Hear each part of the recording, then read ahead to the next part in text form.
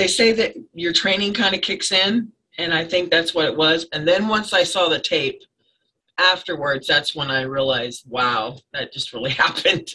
Lawton Area Transit System driver Alisha Sutton's alarming early morning encounter is now going viral, with people across the country saying, oh dear. I was shocked at first because I couldn't believe what had just happened.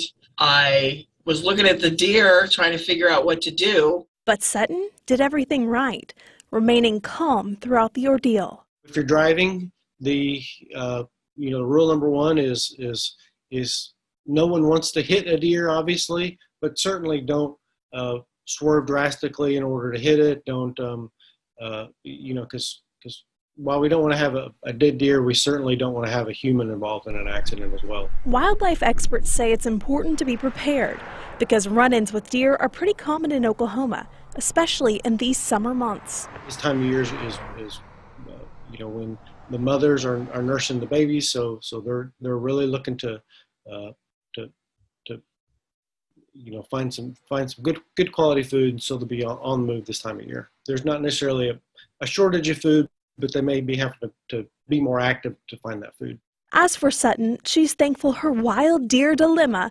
ended with just some minor damage to the bus. I heard it's fixed and ready to go, so that's going to be my lucky bus from now on. Lauren Daniels, Oklahoma's News 4.